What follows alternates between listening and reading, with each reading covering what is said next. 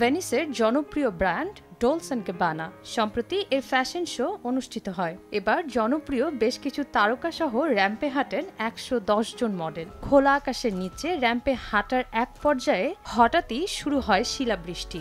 আর তাতেই বিপাকে পড়েন দর্শক ও তারকারা। এ সময় কেউ কেউ মাথায় হাত দিয়ে নিজেকে বাঁচানোর চেষ্টা করেন। কেউ বা বুঝতে চেষ্টা করেন কি ঘটছে।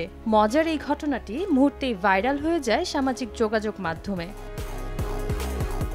শিলাবৃষ্টিতে ভিজে একাকার দর্শকরা ছোটাছুটি করতে থাকেন আশপাশে। তবে তারকারা প্রচণ্ড বাতাস ও শিলাবৃষ্টির মাঝে র্যাম্প ওয়াক শেষ করেন। অবশ্য শিলাবৃষ্টির মাঝে তারকাদের এমন স্বতঃস্ফূর্ত হাঁটাকে সাধুবাদ জানিয়েছেন আয়োজকরা। জিনিয়া শেখ সময় সংবাদ।